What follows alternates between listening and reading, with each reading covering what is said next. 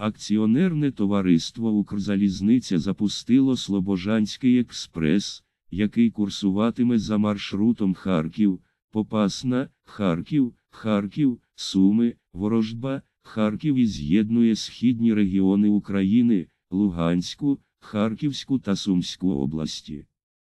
На маршруті курсуватиме сучасний дизель-поїзд ДПКР-3 виробництва Крюківського вагонобудівного заводу. Цей поїзд має максимальну швидкість 140 км на годину, у його складі три вагони на 170 місць. Поїзд має сучасні елементи інтер'єру та екстер'єру і пристосований для перевезення маломобільного населення.